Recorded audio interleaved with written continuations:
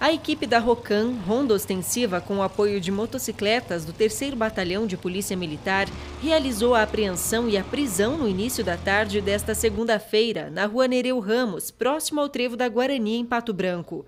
Foi durante a abordagem a um ônibus que fazia a linha Dois Vizinhos Pato Branco.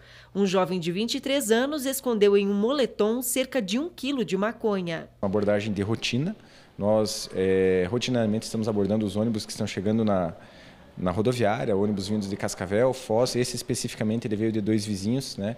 Então a gente conseguiu retirar de circulação esse um quilo de maconha que seria utilizado aí para destruir as famílias da nossa cidade. A comunidade pode ajudar o trabalho da polícia por meio de denúncias. Pode fazer denúncia através do 181 ou se a pessoa tiver algum policial de sua confiança, pode conversar com o policial de sua confiança. Ele vai repassar a informação para o nosso serviço de inteligência e nós vamos fazer as abordagens.